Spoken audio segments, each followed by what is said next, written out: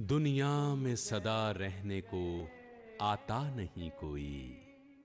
तुम जैसे गए, ऐसे भी जाता नहीं कोई। एक अद्भुत आवाज़, मोहम्मद रफी। उन्नीस सौ चौंठ एक फ़िल्म बनाई जिसका ना शंकन मेले दी जाच मैं आ गई गम खान दी हौली हौली रोहित जी, प्रतान दी। ये बड़ा खूबसूरत गाना लिखा सी। ਮੁਰਾਰੀ ਸਾਹਿਬ ਨੇ। ਤੇ ਅਸੀਂ ਇਹੋ ਹੀ ਚਾਹੁੰਦੇ ਸਾਂ ਕਿ ਇਹ ਰਫੀ ਸਾਹਿਬ ਹੀ ਗਾਣ।